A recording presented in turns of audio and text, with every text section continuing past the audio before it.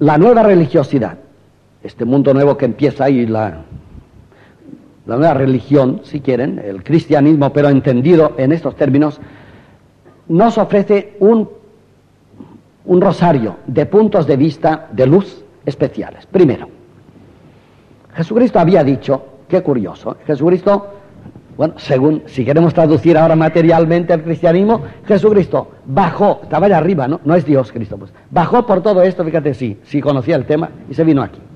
Esto es la encarnación. Esto es Navidad, nada más. Navidad es esto, este viaje. Dios se hizo hombre. Pero lo dicen así y de, ah, ah ya bien. Oh, no, no, hombre, Dios es la vibración de las vibraciones, ¿eh? es el origen de toda realidad, allá arriba. Pues Dios bajó por todas estas esferas y llegó a nuestro mundo y se encarnó para decirnos quién es Él y quiénes somos nosotros. Fíjate, para decirnos el camino. Yo soy el camino, toma.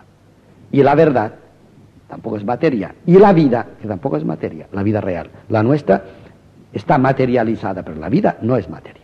Vino y dijo, primero, qué sorpresa, en la casa de mi padre, la casa de su padre es toda esta zona de allá arriba, hay muchas habitaciones, mansiones multesunt. Fíjense qué cosita lo suelta el pillo, pero no sabía lo que decía, los tontos escuchamos, ¿qué ha dicho? En casa de mi padre hay muchas mansiones. ¿Ah? Sé que hay pisos de primera, de... Mucho más. No, Enrique, esto, en la casa de la realidad, el Padre es el autor de todo lo real. No ha creado solamente la bolita del mundo, todo lo real. Es Dios que se derrama, lo tenemos dicho. Pues en la casa de mi Padre, donde Dios hace nacer la realidad, hay muchas situaciones. ¿eh? No solo la de la tierra, la vuestra, que os creéis el amo del mundo. ¿Se acuerdan la primera lección de este año? Amo del mundo, el hombre. Y ha venido Descartes, ha venido Galileo, eh, ahora santo, ha venido a decirnos, el hombre, que no es nada. Bueno, pues este hombre, dice Jesucristo, vosotros que estáis aquí en la casita del mundo creéis que sois los únicos habitantes. No, en la casa de mi padre hay muchas mansiones. Esta una, pero luego para arriba, venga, son mansiones. Hay muchas vibraciones. La peón se puede dar muchas vueltas, muchas vueltas, muchas vueltas. Hay muchas maneras de ser. Y esa será una de las sorpresas. Primero para este mundo.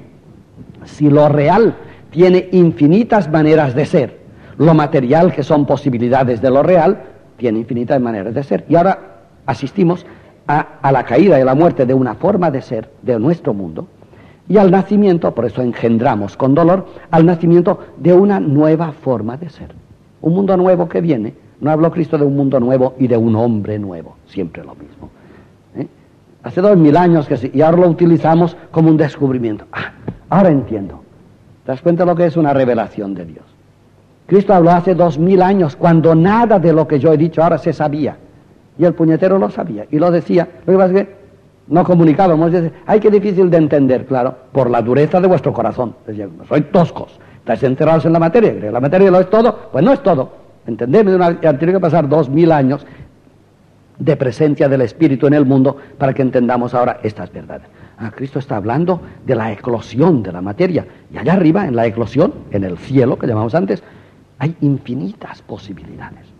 Por eso decimos, en consecuencia, que copiemos un poco el cielo y cuando se dan nuevas posibilidades, alegrémonos, aunque nos cueste aceptarlo. Estamos delante de una, quizá la más aparatosa y trascendental de toda nuestra historia humana. Está sucediendo delante de nosotros. El futuro viene, está aquí ya. Mañana es hoy ya. Y los hijos de ustedes están aquí ya como futuro, y todos nosotros como futuro de la humanidad.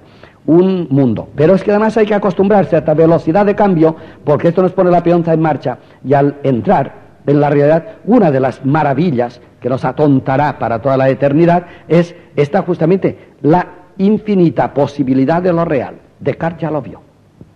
Lo real tiene infinitas posibilidades. Y decía Descartes, como era cristiano, Descartes es el que hizo la primera trastada, ¿se acuerdan del otro día? Pues decía, en este mundo solamente conocemos dos. Lo real, esto de aquí, da de sí infinitas posibilidades. Y los orgullosos de este mundo conocemos dos. Conocemos la materia extensa, lo física, lo físico, lo material, la materia extensa y el pensamiento. Hay materia y pensamiento. del abanico infinito de posibilidades que tiene lo real, en nuestra tierra hay solamente dos, dos, materia y pensamiento, no hay nada más. A ver, no hay más que materia y pensamiento. Y estas dos se dan juntas solo en el hombre en la tierra. El hombre es materia y pensamiento, fíjate. Los ángeles son solo pensamiento que están por aquí. Y la tierra es pura materia. En el hombre, la materia, qué curioso, ahora saquemos la última consecuencia. En el hombre, la materia ya es pensamiento. La materia está bailando en grande. ¿eh? En la piedra hay que ponerla en marcha. El hombre la pondrá en marcha, si es listo. En la mesa también. Pero el hombre, la materia ya está habitada por el espíritu, por lo real, y la materia ya empieza en el hombre a liberarse. En el hombre se dan, de las dos posibilidades que hay en la tierra, las dos juntas se dan en el hombre. Materia y pensamiento. Materia extensa y materia pensante o realidad pensante se dan en el hombre. Traducida, la realidad no significa que en el hombre dentro de mí están materia y pensamiento como vaso y aceite en un, digo, agua y aceite en un vaso. No, están en relación la materia dentro de mí, la materia que en la piedra es pura materia y pura potencia, la materia dentro de mí ya libera pensamiento. O el pensamiento dentro de mí ya está haciendo estallar la materia. Es decir, que dentro de mí será la fórmula que hemos visto en, en Heidelberg, la fórmula de Einstein. Dentro de mí la materia se acerca, se aumenta más con la velocidad de la vibración de la luz y libera energía. En mí, en mí, Fíjate qué lugar más especial soy. En mí, la materia que se muere de ganas de, ya empieza a bailar, movida por la cuerda del pensamiento, para librar sus posibilidades. El hombre es un lugar privilegiado, el único en la tierra, donde la materia ya empieza a liberarse. Si es fiel a su vocación, el hombre, aquí la nueva religiosidad con la cual terminamos, si el hombre es fiel a su vocación, cada vez es más la materia que consume, pero que consume rodando a velocidad infinita y por tanto la energía que libera. Puede suceder muy bien que la materia esté tan baja, como en el ángulo, en el vértice, la materia esté tan baja que no libere energía. Son, pues la materia que no suena, es el materialismo en el cual vivimos mucho. ¿eh? Recuerden que estamos viviendo en un mundo material, no solamente la economía o el marxismo de que he hablado, es que somos materialistas, adoramos el cuerpo, y nos morimos de pena ante la muerte. Por mala información muchas veces. Esto es materialismo. ¿Quién sabe si cuando... Esto es materialismo. ¿Cómo quién sabe si? los de arriba deben decir, pero en aquel fulanito de la tierra debe haber algo de vida. Desde arriba, lo nuestro no es vida. Es ensayo de vida. Lo vio Platón, la caverna. Esto que llamamos vida no es vida, es un lejano reflejo umbroso de la vida, la que llamamos vida. Lo que aquí llamamos amor no es amor, no subsiste, tiene una raíz lejana en el amor de allá arriba y le llamamos amor porque no conocemos otra cosa. Verás tú en un sótano encerrado, te adaptas tanto a la oscuridad que llamarás luz a la poca luz que hay en el sótano. Cuando te saquen fuera del sótano y te deslumbres, ah, pues mira, aquella mini luz que había en el sótano era un, lar, un lejano reflejo de la luz que está ahí fuera, que es la verdadera. Bueno, pues llamamos vida a lo que no es vida, sino proyección lejana. Llamamos amor a lo que no es amor, sino ensayo. Llamamos inteligencia a lo que es nocturnidad, porque luz de inteligencia no tenemos ninguna. Llamamos el mundo nuestro a lo que no tiene que ver con el mundo, es una pura materia sollozando con ganas de ser mundo, pero que no es mundo. Luego, somos materialistas cuando entendemos al revés y decimos, pobrecito, este se ha muerto.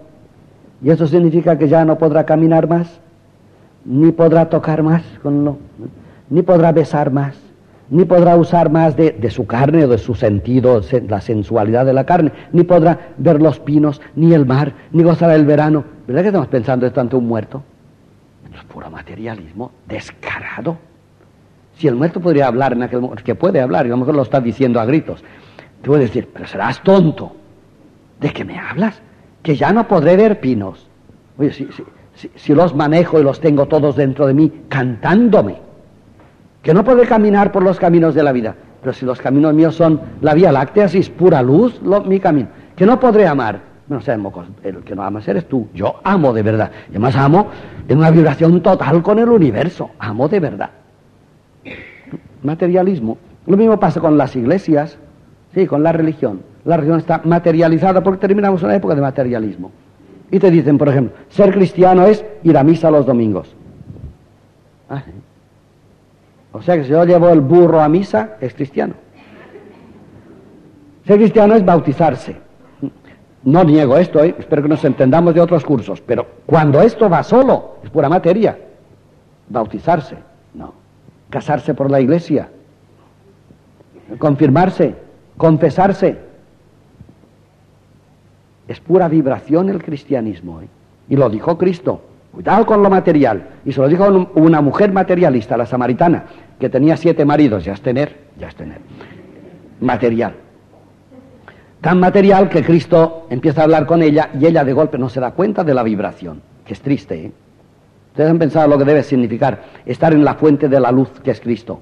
El que decía, yo te puedo dar agua que salta hasta la vida eterna, ¿lo ves? Estar en la fuente del agua viva, que viene de allá arriba. Estar, y como la samaritana, y no darse cuenta. Esto no es que pasa a nosotros, somos samaritanos todos, ¿eh? Estamos en la vida, en las fuentes de la vida, bueno, en el caudal de la vida que viene de arriba, no nos damos cuenta. Yo no piensa, o sea que Jesús le hablaba con aquella inmensa sonrisa eterna que tenía, con aquella palabra tan dulce, y la mujer. Al final, al final la puse en marcha, yo lo creo, nos da vueltas rápidamente, naturalmente, y de golpe la samaritana dice, oye, tú eres un profeta, ahora, ahora abierto los ojos. Le costó eh, darle cuerda a la peonza, sí que le costó, pero estuvo rodando ya la mujer. De golpe abre los ojos. ¿Cómo hacemos nosotros los materiales?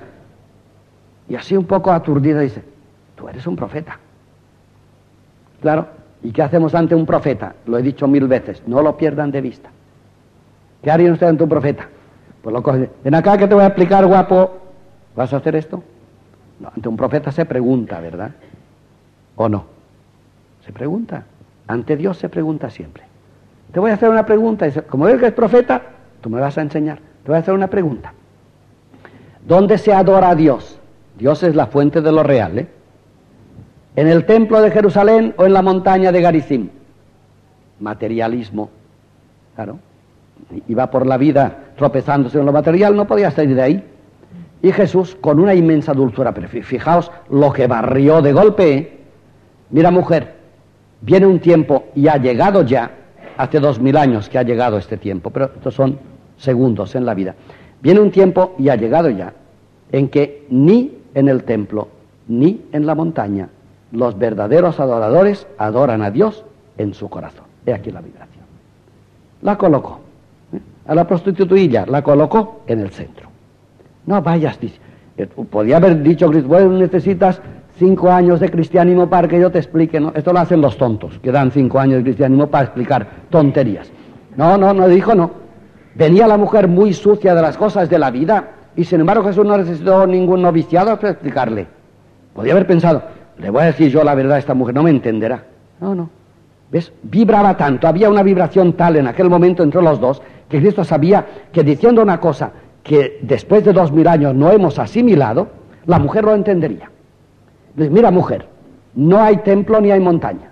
A Dios se le adora en el corazón del hombre. O vibras con él o no hay templos que te salven. Eso es todo. Han pasado dos mil años y las religiones siguen el templo, el templo y la montaña. Digamos que para principiantes funciona muy bien, que lo somos todos, modestia aparte. Pero que si el templo y la montaña no te ponen la peonza en marcha, no sirven para nada. Es mejor vibrar dentro sin templo y sin montaña, como dijo Cristo a la samaritana, que tener muchos templos y muchas montañas y muchas vírgenes aparecidas y dentro quedarse y ay, qué pena que tenemos que morir y qué pena de siglo que se nos muere delante. Estos no son cristianos. La nueva época del cristianismo significa que Dios vive en el corazón del hombre. ¿Y qué significa? Termino con ello. Que Dios vive en el corazón del hombre significa que en la profundidad más íntima de la materia, lo real ya ha comenzado. Eso es todo. Miren la pintura, lo verán. Abajo de todo de la materia, en lo más profundo ya, lo definitivo, lo que esperamos, ya está en marcha, ya ha comenzado. Se puede hablar mejor del futuro que nos viene encima y se puede bendecir mejor a Dios que vibrar con Él y pensar que todo lo que sucede es presencia de Él en nosotros, o si se quiere que todo lo que sucede es que nuestra materia ya empieza a moverse a la velocidad de la luz y la energía que hay en nosotros se empieza a liberar hasta la eternidad,